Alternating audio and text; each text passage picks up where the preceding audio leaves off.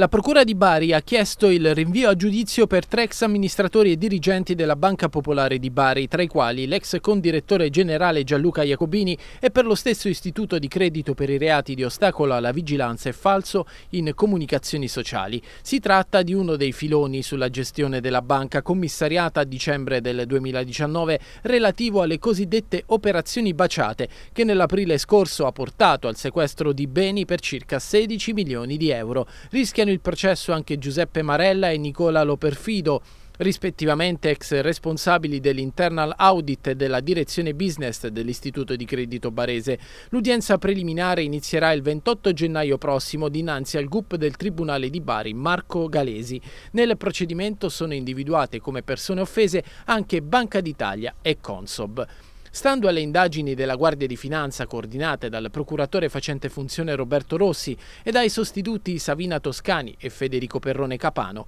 gli indagati avrebbero concesso finanziamenti ad alcuni clienti della banca, prevalentemente grossi gruppi imprenditoriali, a patto che poi fossero, almeno in parte, direttamente o indirettamente utilizzati per l'acquisto di azioni proprie, complessivamente incidenti sui fondi propri della banca, in negativo per 48,9 milioni di euro. Il valore delle delle azioni così vendute, cioè di fatto comprate con fondi della banca stessa, sarebbe poi stato inserito indebitamente nel patrimonio di vigilanza, così falsificando e sovrastimando la situazione economica dell'istituto di credito. In questo modo gli ex dirigenti della Popolare di Bari avrebbero ingannato Banca Italia e tutti gli altri soci presentando una solidità finanziaria inesistente e non corrispondente al vero, oltre che sovrastimata.